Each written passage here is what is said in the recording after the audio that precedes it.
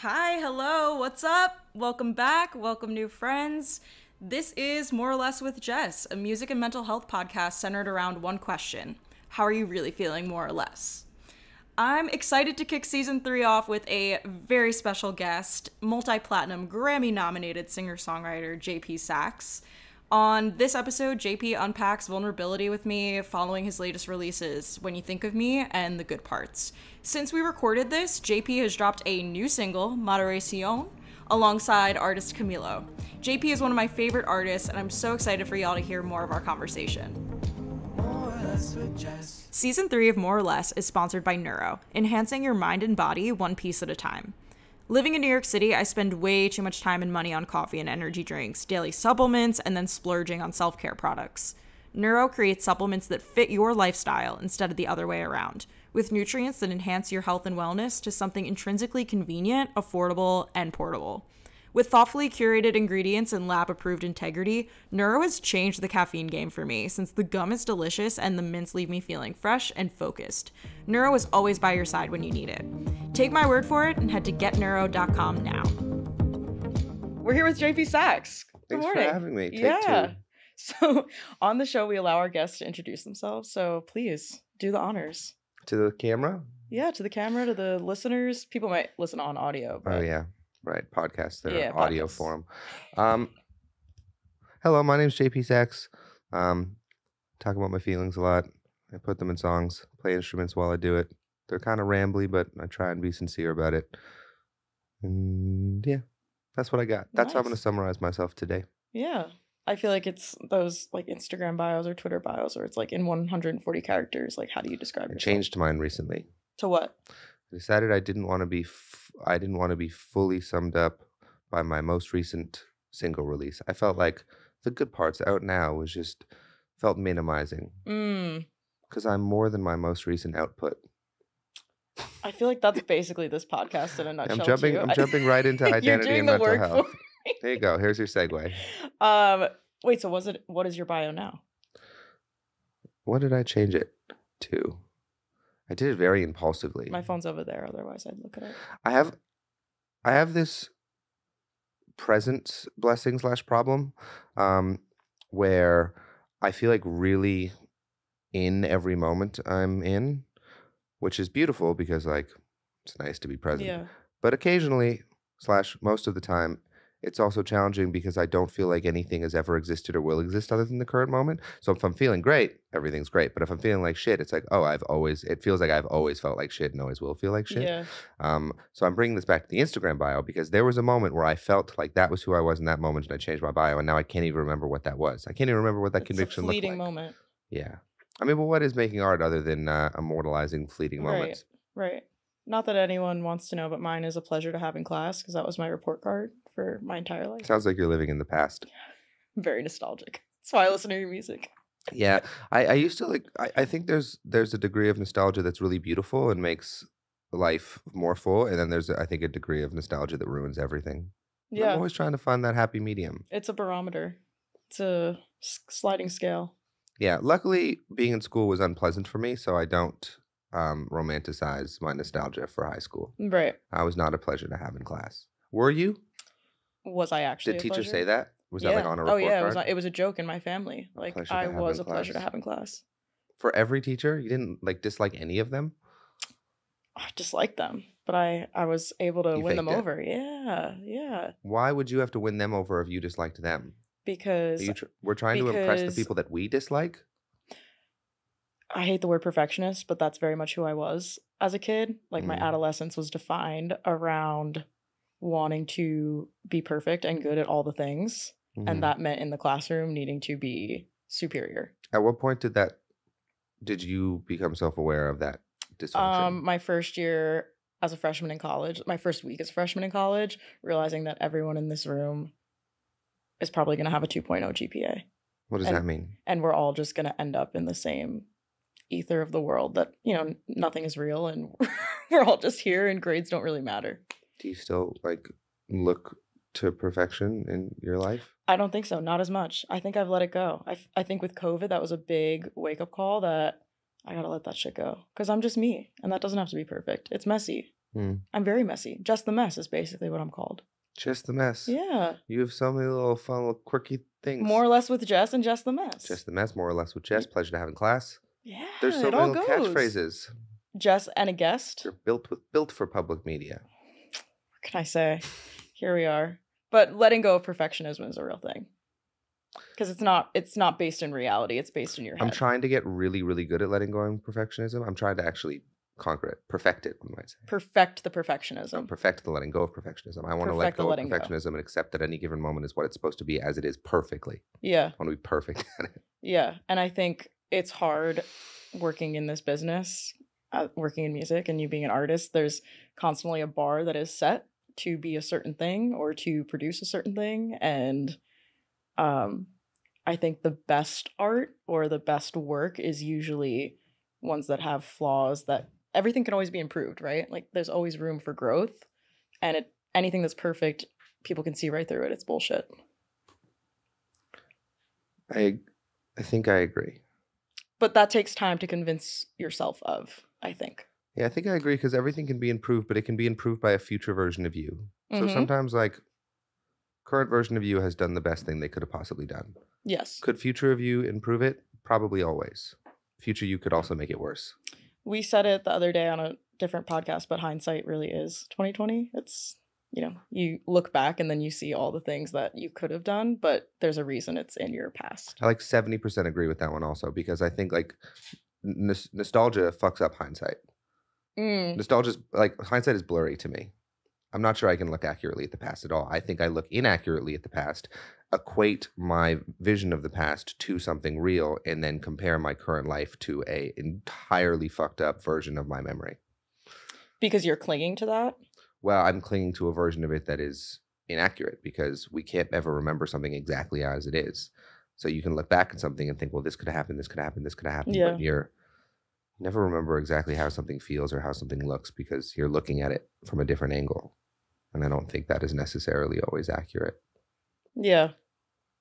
Because there's many different perspectives to one particular situation or one moment. Totally. everyone i mean new york is a perfect example of that everyone is on the street with different places of where they need to be different struggles they're dealing with and we think that we are the main character most of the time Mhm. I mean, we Uh, are in our own lives.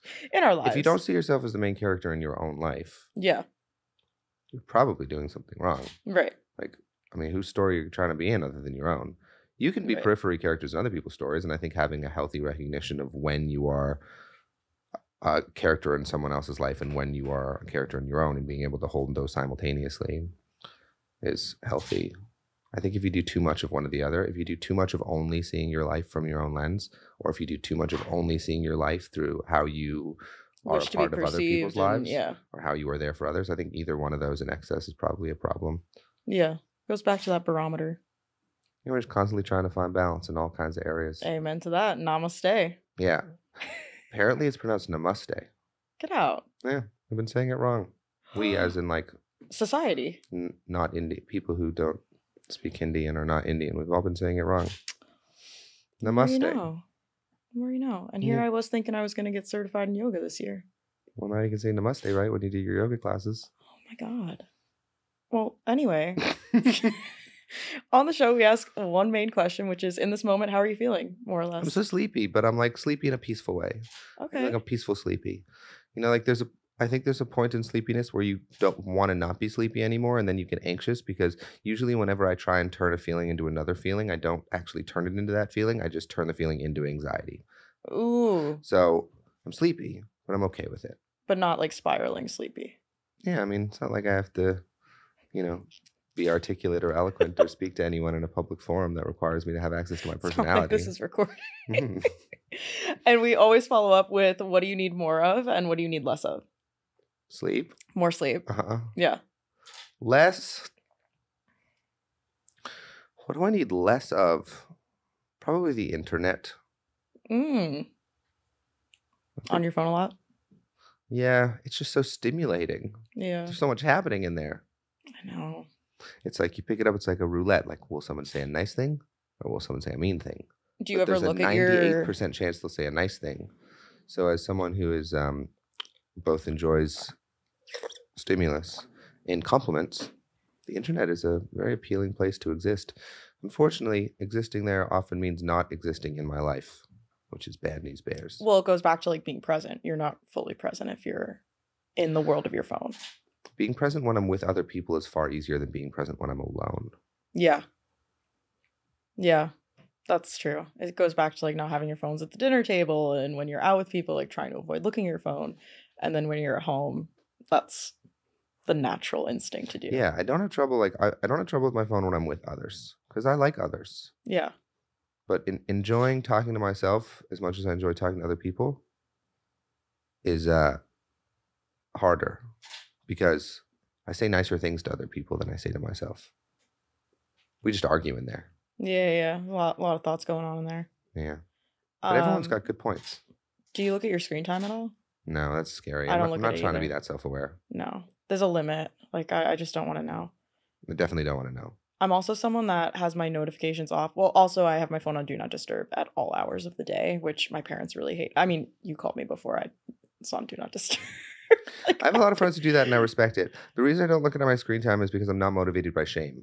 Yeah. So if I looked at my screen time, I would be trying to be on my phone less because I was ashamed of how much I was on my phone, and I'd rather not look at my phone less because I'm trying to be more present in the world. I'd rather have a metric of here's your not here. I don't know what metric I would rather have, but I just know that that would make me feel shame, and shame very rarely helps me be better at my life. Do you listen to Brene Brown? I'm obsessed with her. Exactly. Uh, you know where I'm going with this. She's on my album. I sample her on my album. Get out. Yeah. It's it's actually I sample her quoting Jack Kornfield. she goes, it's a podcast. She's talking about Jack Kornfield. She goes, I will love you. I will love you, but only if you will be the way I want you to be. and I have that on an interlude in my album. That's amazing. Does she Yeah. know about it? Did you have to get the rights to that? We haven't gotten there yet. I don't have to worry about that shit. I just make the art.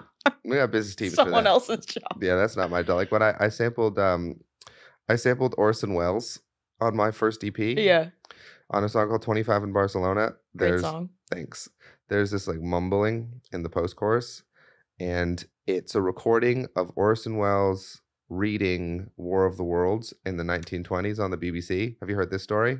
No, but uh, okay, so they did like a reading on the BBC of, of War of the Worlds, and people were tuning the BBC and thought it was real.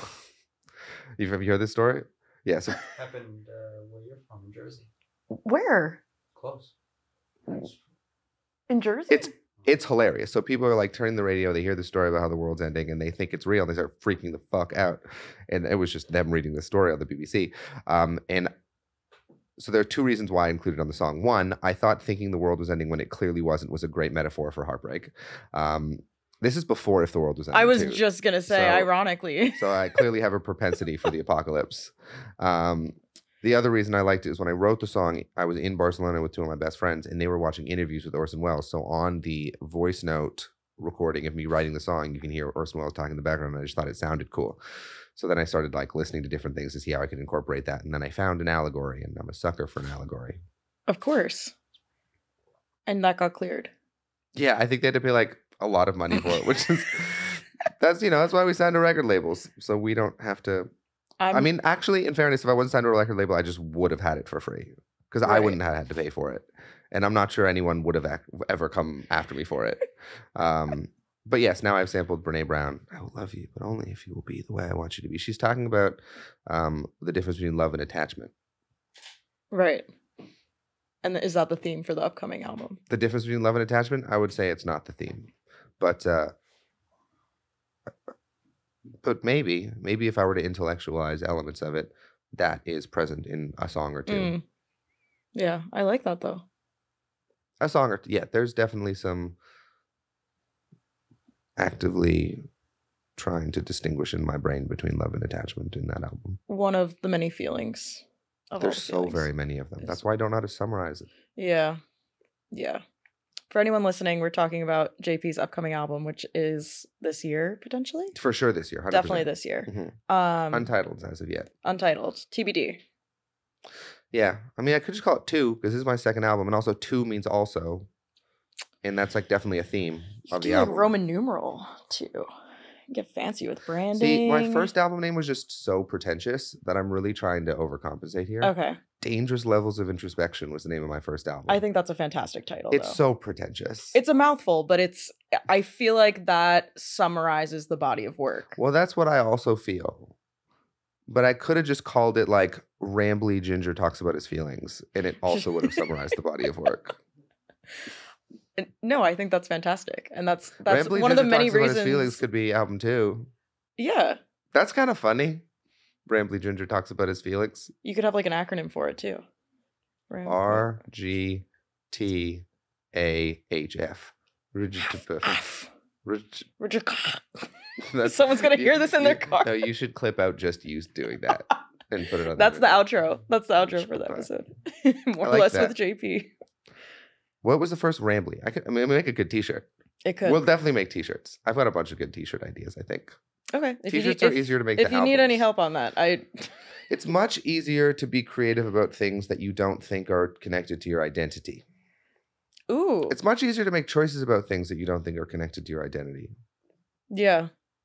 But I can understand the pressure of naming an album because that is going to follow you for the rest of your career. Right, it becomes part of my identity. Correct. T-shirts don't feel like they're part of my identity, so I'm being creative. Yeah. I think it's a trap some of the time to make choices thinking about like, well, what does this mean about me to make this choice? It makes it way harder to make a choice about food, about about how we spend our days, about where we go to school, about who we hang out with, about who we date. hmm Imagine if you know if you just date someone because you love them.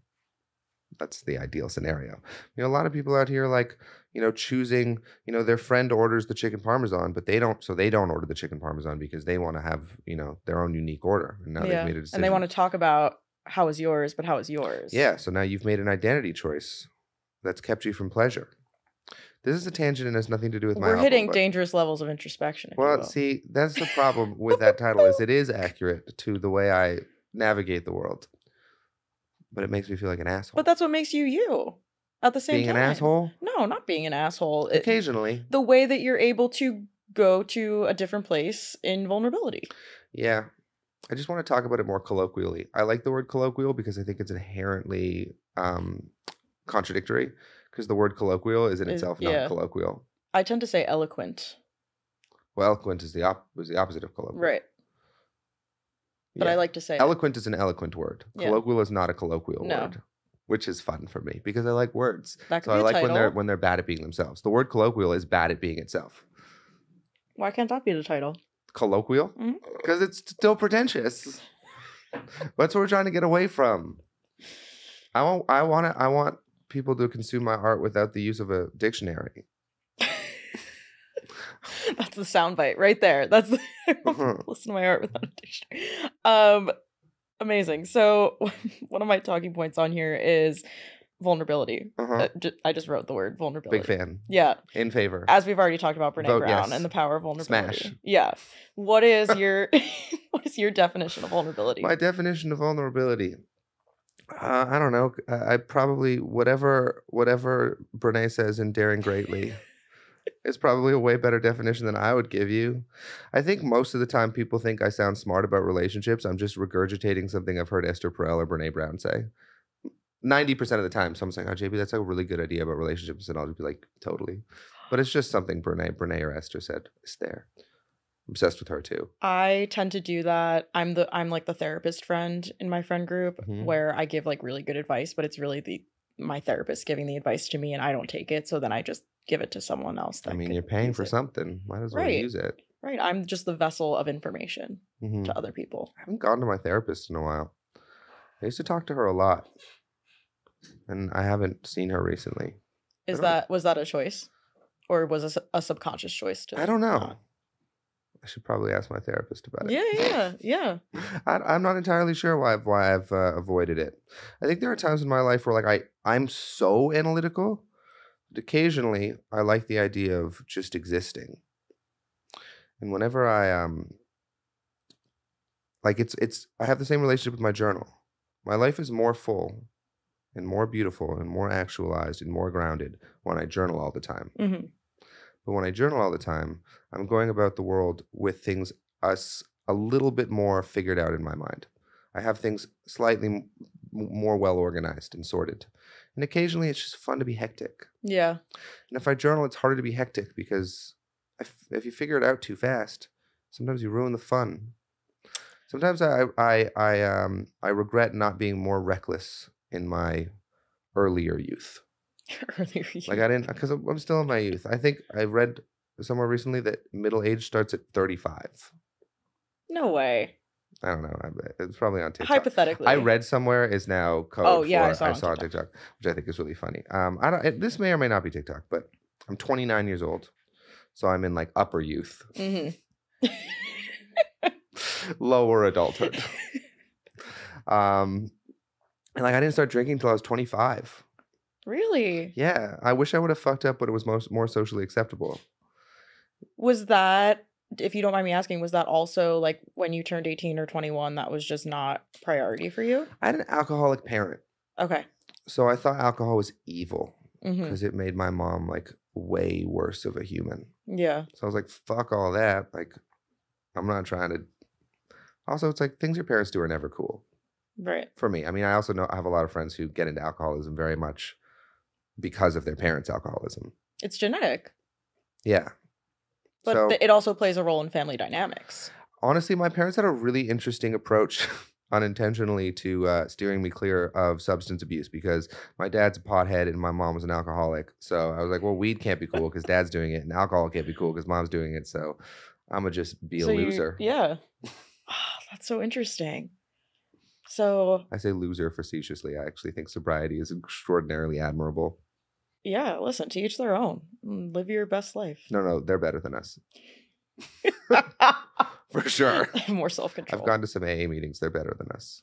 discipline. And I think it's seeing the world from a different lens that other people tend to not see. Yeah.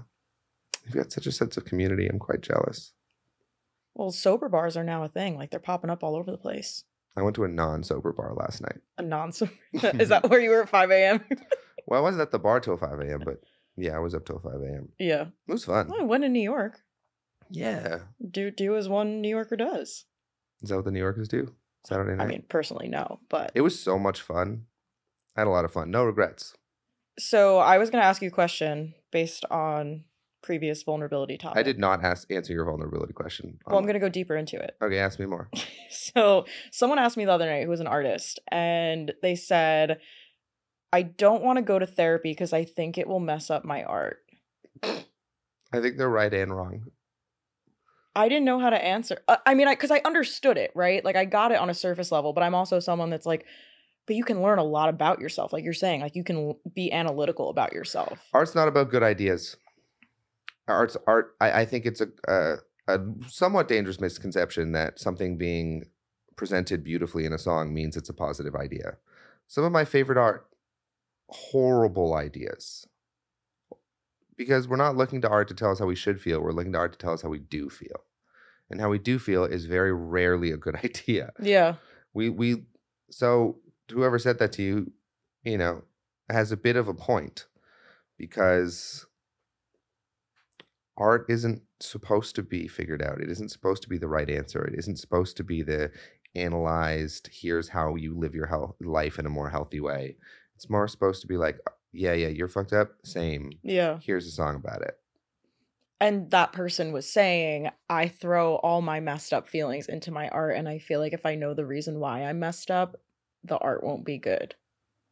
I think that person should have more confidence in their ability to, to create and not think that their capacity to to explore creatively and to navigate their emotions artistically is dependent on their dysfunction. I think it's more confident to think that you can have a healthy lifestyle and create art Yeah. that is cognizant of both your healthy choices and your unhealthy ones because uh, that sounds like a recipe for for having a life that it is that is not as fulfilling because if you think you need to be dysfunctional to create art you probably will but i think i'm a better songwriter than requiring mess in order to be a Mm. songwriter I don't think, and my response was more so, I don't think they're opposing forces. I don't think they're against each other, but you can choose to frame i mean if you don't way. think you're good enough to make good art out of a healthy place then Yeah. that's your own insecurity Right, right. There's a lot of work to be done on that part. we can But- still talk about fuck up fucked up things while trying to be less fucked up Yeah. Yeah. Songs about trying to be less fucked up. Because are aren't we all trying songs. to navigate a fucked up world? My favorite example of art not supposed to be a good idea. It's no, this is a my favorite example is loose terminology, but I'm going to take a left turn to get back to this thought. Uh, Uh, we had a boba making night at my home recently, As, as one does. where we um we made it like from scratch, and we were listening to a jazz playlist, and the song "Rehab" by Amy Winehouse came on. Jam, Of course. but also she put out a song about not listening to people telling her to go to rehab very very shortly before dying of a drug overdose. And we as a society are just like dancing around singing it at karaoke. Yep. there is a dark undertone to that song extraordinarily dark undertone. And yet we just kind of ignore that and sing along and dance and have a good time. And the dark undertone of just that song is the best example of the music industry killing artists to me and then making money off of it Um, Yomi, our lovely audio engineer that's in the studio, and I had a very fun conversation yesterday uh, around this topic, which is that in a, it's very dark and it's very true, but the music industry profits off of artists' pain uh, Mhm. without providing any support or resources and that's a lot of the work I do now for a living and I try to do this podcast where we talk Mhm. about our feelings and really check in because there's a billion examples the list goes on Amy I mean before we started recording talking about Elvis like there's iconic figures that we only wish had more time Mhm. um and their lives were cut short because they were struggling and we just watched Yeah, I mean, to your question, to like your point before about, you know, can you still make relatable art about our dysfunction as humans while trying to be more grounded, have more clarity, have more joy, have, you know, less that tortured soul 100% thing going on? starving artists and still make meaningful art. And I think not only is that a yes, I think it's also just we have to because I don't want to choose between good art and a good life. Yeah Mm, I'm going to have both. I think we should have both.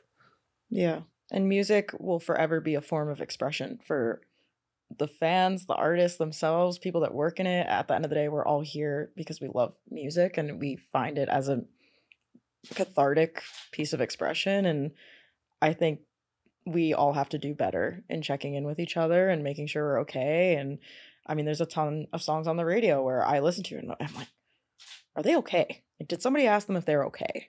Um, and we can talk about the good parts, or if you're okay. You know, I want to ask you if you're okay because, the, like, What do you mean that song is so lovely? I'm, I'm very much an empath though. So many lovely feelings. I, I like I don't totally believe in zodiacs, but I'm a Pisces, and I've been told I'm very emotional. Mhm. Um, so I just constantly I like want- Pisces. I just constantly want to like fix people and and help them. And I'm, I'm a I'm an almost Pisces. when's your birthday? Are you March March? 23rd. Yeah, I'm an Aries. I'm February 23rd. We're a month Look at that. apart. Yeah.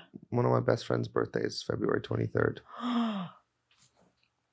Emily, do you know a song of mine called For Emily? yes. Emily's birthday is from February 23rd.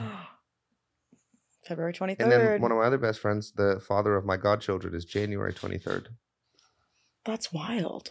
He doesn't like when I call him the father of my The godchildren father. because I think it's minimizing his role in the equation, but I think it's funny. when did you become a father of the god? I'm a I'm a godfather twice over. There's two of them, Matthew and Casey. We recently baptized Casey, which was one of my favorite experiences of the year because I had to take a Catholic baptism class, and I am Jewish, um, and I loved getting to tell the deacon that I was Jewish because I'm oh shit.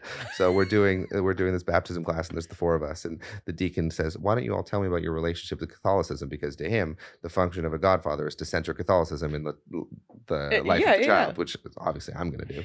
Um, so Duh, that's why they picked you. precisely.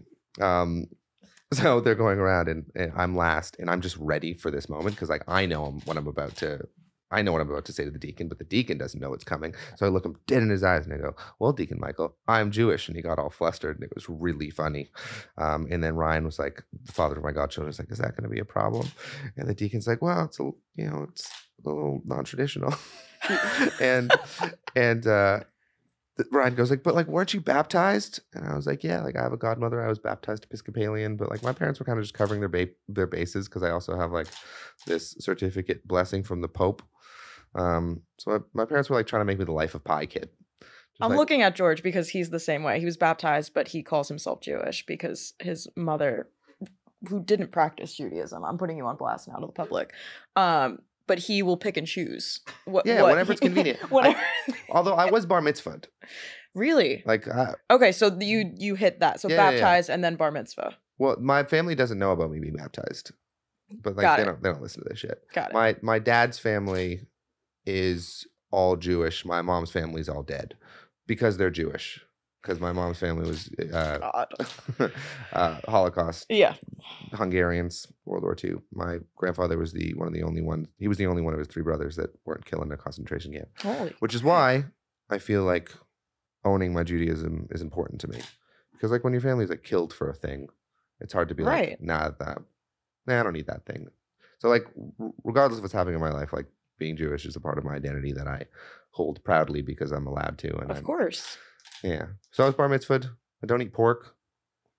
Mostly because pigs are cute. It's also because, like, because of Judaism, like 10%, 90% because of the movie Charlotte's Web.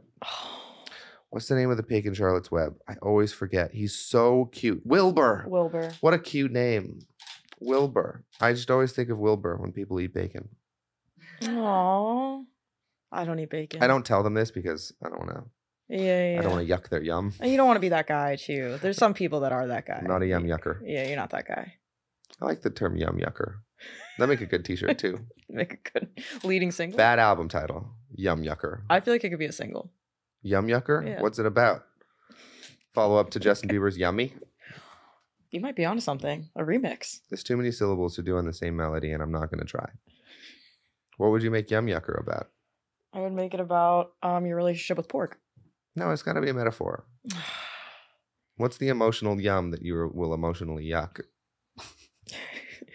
um, I think I would pick uh well, we were talking a little bit about like being cynical about awards, but also humble. Mm-hmm. That's kind of a yum yuck. Like Like if someone wins a Grammy and you're like, well, that you-" should be me. or not you're like, for-" well, I hope you're enjoying that nepotism. like nepo babies right now, like all that time. Yeah, what is that about? Um, I feel like I'm not qualified to be the person to like explain it to you because I I'm fully How- learning what it's about. Like, how much nepotism do you need to? Like, where's where's the line between nepotism and privilege? Or are they the same at times? Well, nepotism is definitely a form of privilege, but not Right. all privilege is nepotism. Yes. Yes. But I like, ho- Uh, my take is that people just woke up one day and chose something to complain about. are we complaining? I thought we were just making fun of them. I think it's a little bit of both. Like you have rich parents, haha.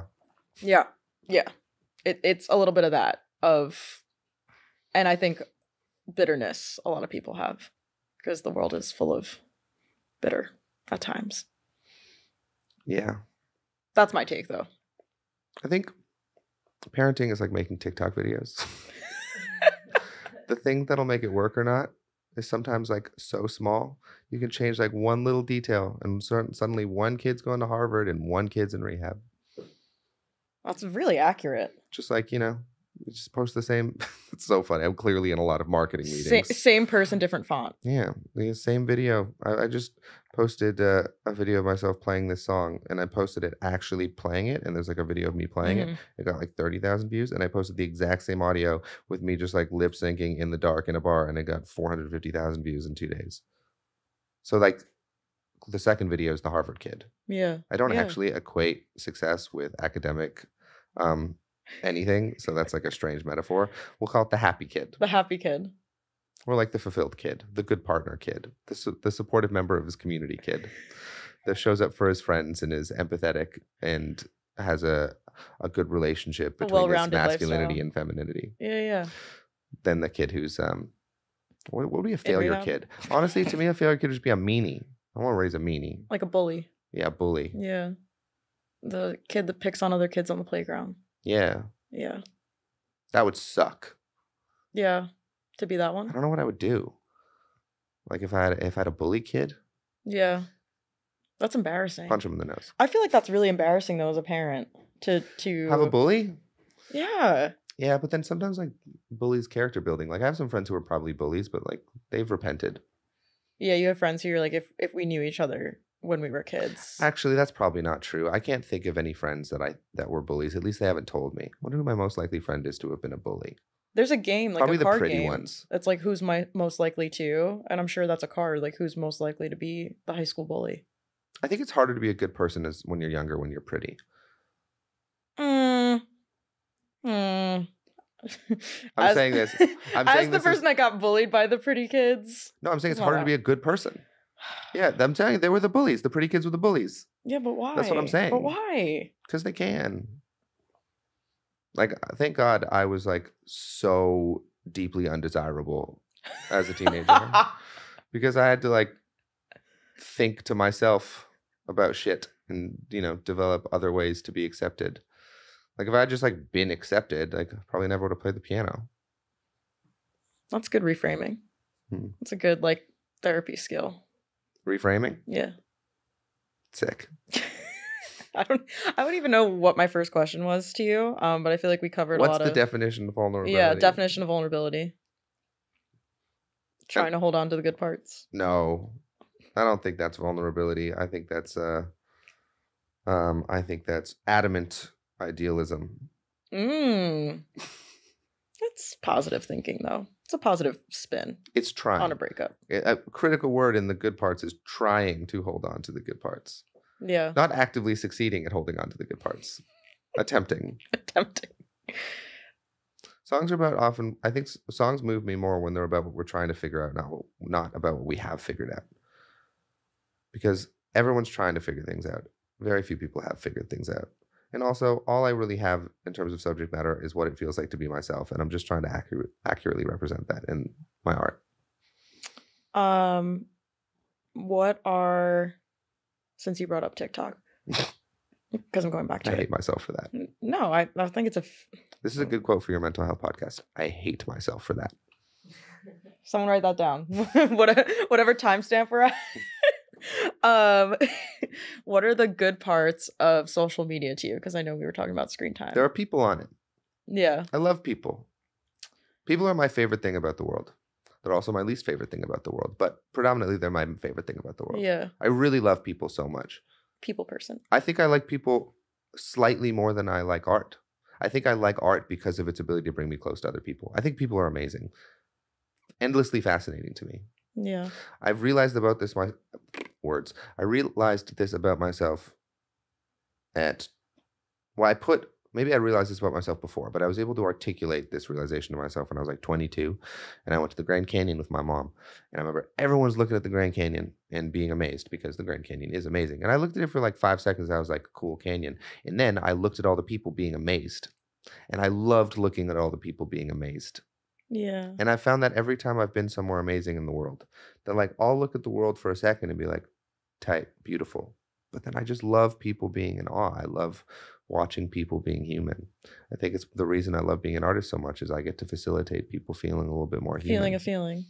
Yeah, I mean, when a when a song does its job, it like it's like a little keyhole that gets you close to a part of yourself that maybe is hard to get to without it. And I think that's one of the privileges and blessings of being an artist is that my job is to think about my emotions all the fucking time. And most people don't get to think about their emotions all the time. It doesn't mean they're less emotional. It just means, you know, they have jobs to do. My Yeah. job is to articulate my emotions. So I put in all that work, think about what my emotions are, and then I and then I come out with it with this little 3-minute window, and then I give you that 3-minute window, and then you get to look through it to a part of yourself with some added vocabulary to emotionally understand yourself with. Yeah. That feels purposeful That's so me. freaking cool. That's where my sense of purpose comes from.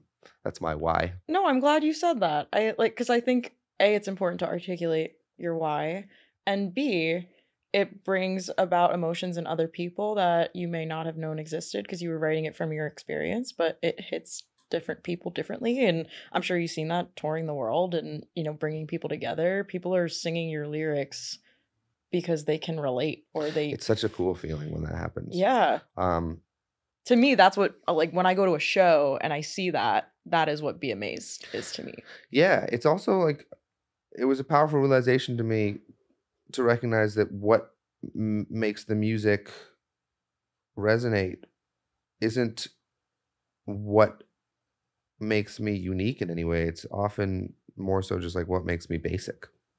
hmm It's just it works because what I'm feeling isn't all that different from what anyone else is feeling. Like we're all just going through like eerily similar shit most of the time. Yeah. Like eerily. Like there are moments where I I feel like I've been so specific in a song that no one will have possibly gone through the same thing, and I'll get all kinds of DMs be like, "Oh damn." I was also in Barcelona right after I went through this breakup, and I was like walking around wondering how to look at the world and not want to tell them about it. I was like, well, that's specific. Were they also turning 25?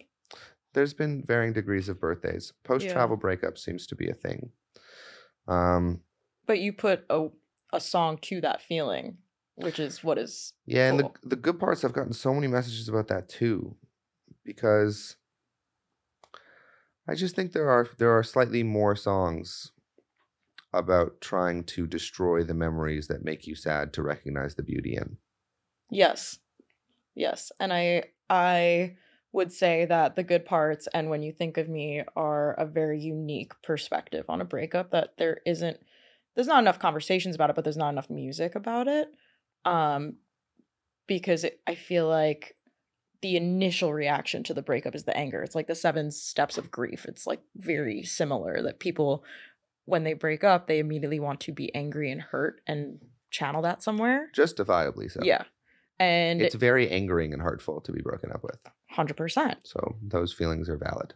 And then I think when you hear a song like yours, it brings about a a different emotion. It doesn't, you know, minimize the hurt. It just brings up an emotion that wow, I can look at the happy moments and how they shaped me as a person. If they're there, If they're there. they're not always there. Some people have genuinely shitty relationships that don't have too many good parts to look on, that are not actually helpful to look back on. Yeah. You know, if it's abusive, deeply toxic, any number of things. Yeah.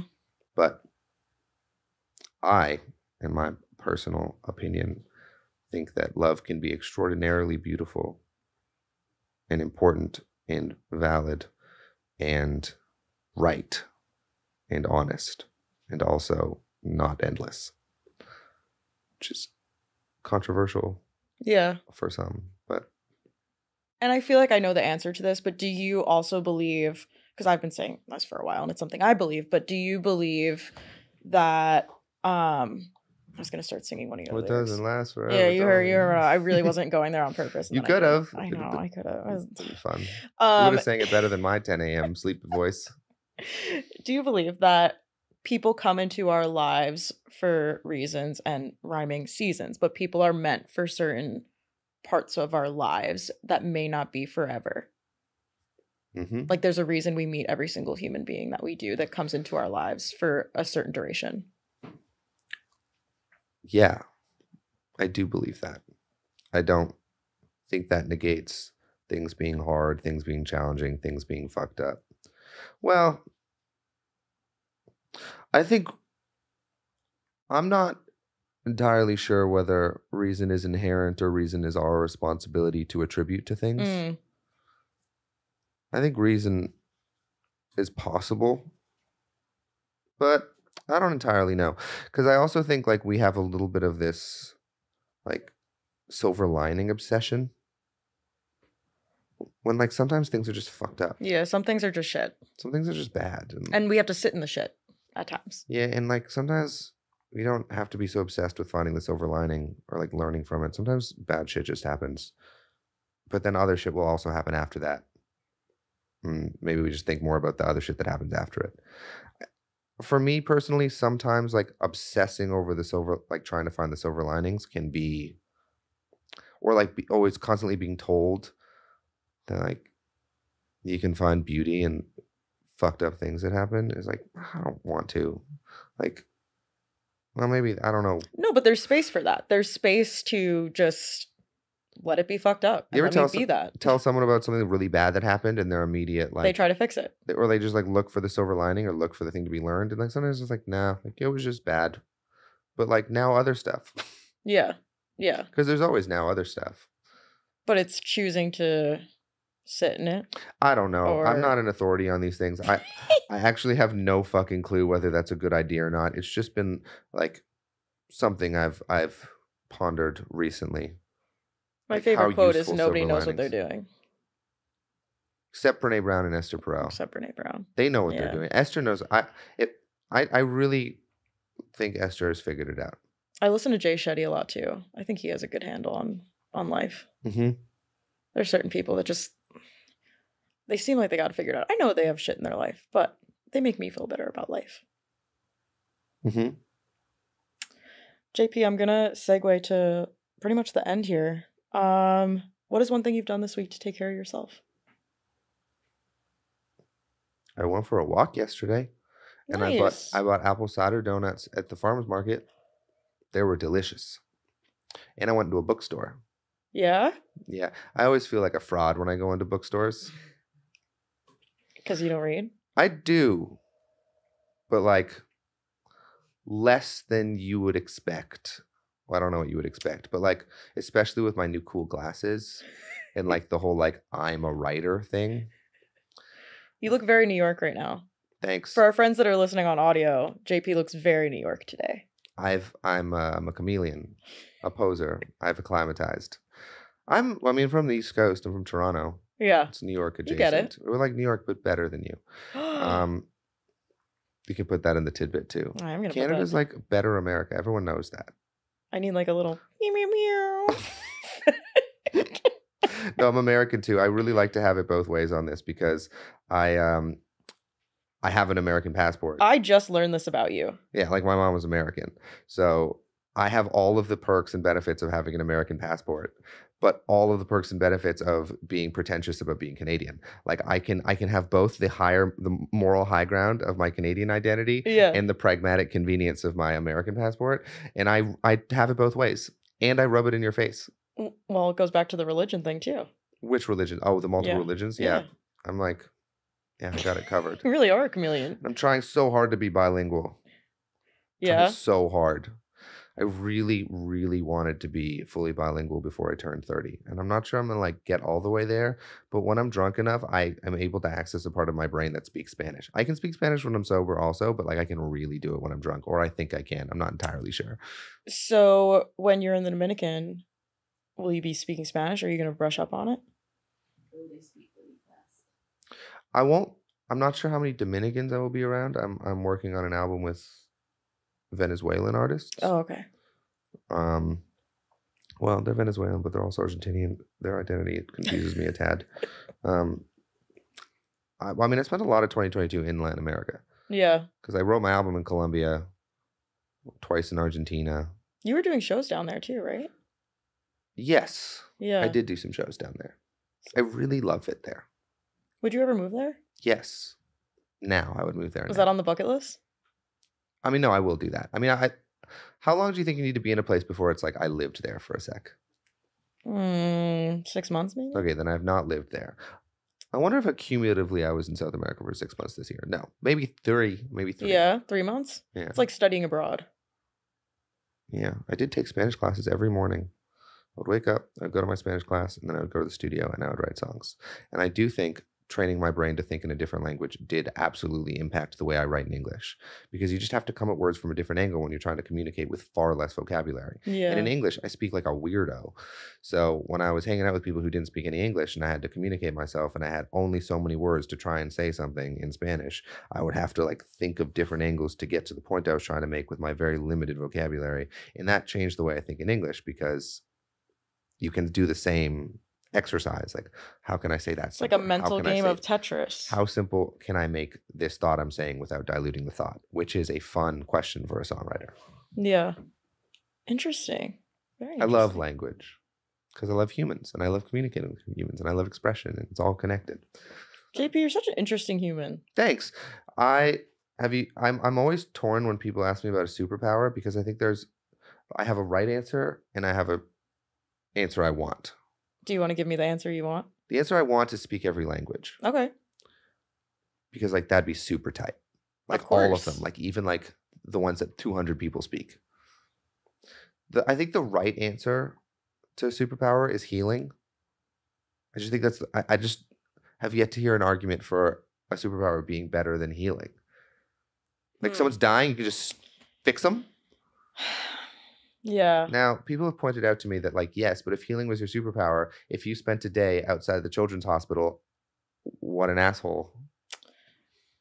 So maybe it's too much Right. responsibility. But if you can fly and you're not like flying your friends to Santa Barbara, maybe you're also an asshole. Yeah, there's degrees of it.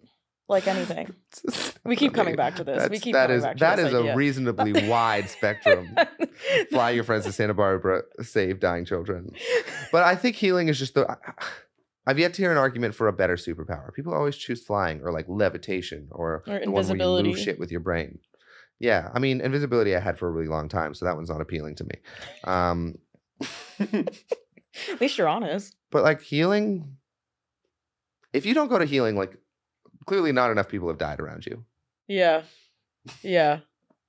I'm trying to get into Reiki. Reiki's all healing and No, I mean real healing. I love Reiki. it's amazing how much you can do to someone's body by not touching them. No, I know. I are you're going when you say healing, I'm thinking like Jesus walking the earth healing every single Well, yeah, it's a person. superpower. I mean, like you walk into a hospital room and Yeah. you're like Cured. cured. Next. yeah, that'd be sick. we just like automate healing. I'm sure there's so. I'm sure you can make a Black Mirror episode on why my theory here is flawed and would not work in actuality. But the good news is this is hypothetical and no one actually has superpowers. Where has Black except Mirror except for been? the people with Reiki superpowers. Oh, True. I've never done Oh, speaking of Black Mirror. I haven't seen.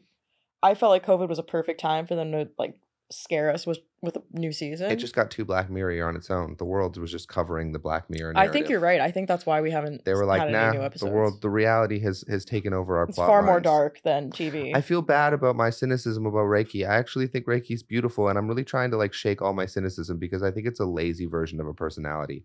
I'm curious about Reiki. okay. I'm Next time in your, you're I'm in New York, we'll hook you up with a Reiki healer. Does it work?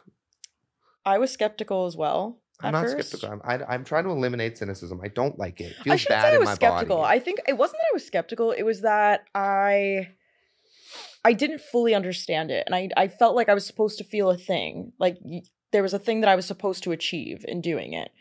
Again, this idea of perfectionism that I have to like do the thing which it's meant for, and I didn't know what that was. And I think that's what hindered my first experience. I've done it maybe two or three times now after my first experience, and I have seen colors and I have cool. felt I have felt Are you col- are you colorblind? no, but Do you not usually see colors? no. When you when your body What are you seeing in the room right now? Mm, well, this room is purple, and ironically, I saw purple when I did Reiki. Oh, you mean colors like where they're not usually there? Colors when your eyes are closed. Oh, okay, okay, okay. okay. So your eyes are closed, and someone is healing over your body, um, and channeling different chakras and all the things. And I felt myself seeing purple, like purple flashes, that's cool. which supposedly has a lot to do with how you process emotions. Like purple is the color of emotions. That's cool. um more so feminine emotions because everyone is What's a feminine emotion? the theory is that we are all one half feminine one half masculine and different 50 colors 50? yeah and one and colors represent those sides of ourselves um so purple is is one of the feminine colors and your body is always a balance between uh, feminine emotions and masculine emotions What's a masculine emotion? I guess like red. But ma- masculine emotions are um actually top up and then feminine, I mean TMI, but like women's body parts, feminine is your lower half.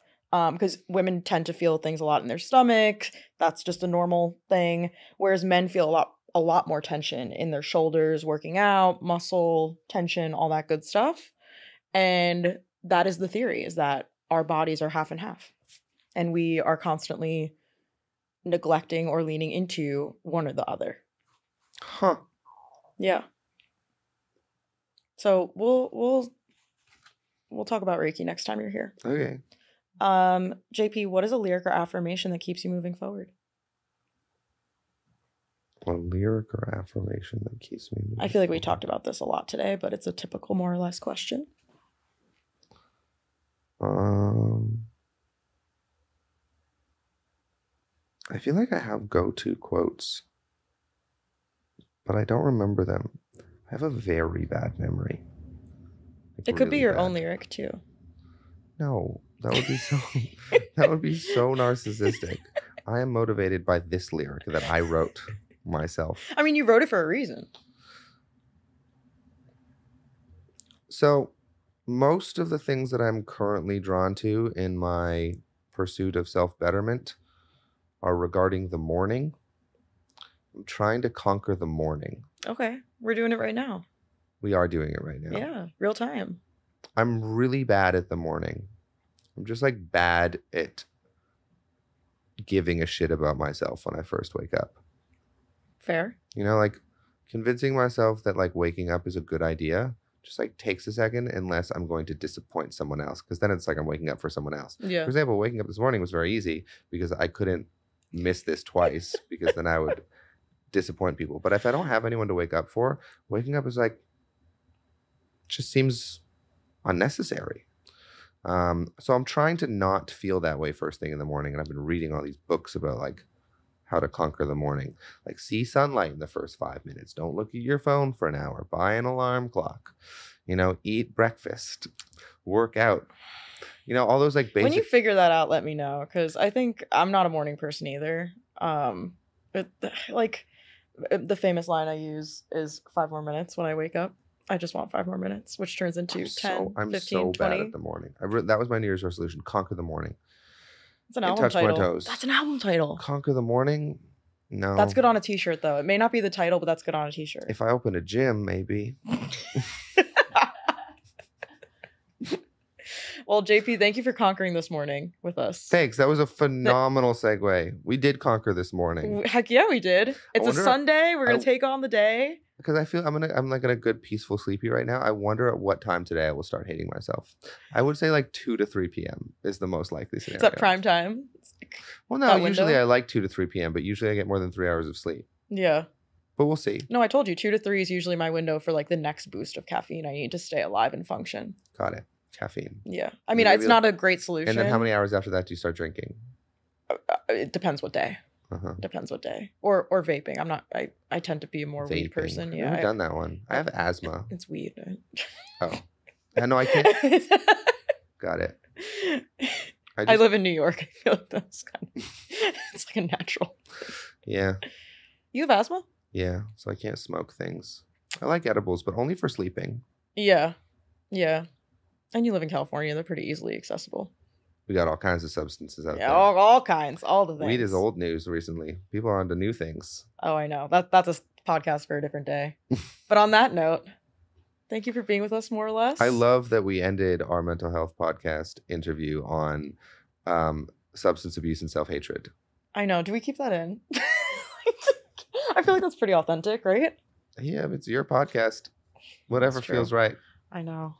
Did you choose the purple lighting because of the purple feminine colors from the Reiki, or is it a No, but that was that was a great That's a wrap on this week's episode of More or Less. Thanks for tuning in. And if you'd like to help support the podcast, please share it with a friend, post about it, give us a review on Spotify, Apple, wherever you listen to podcasts.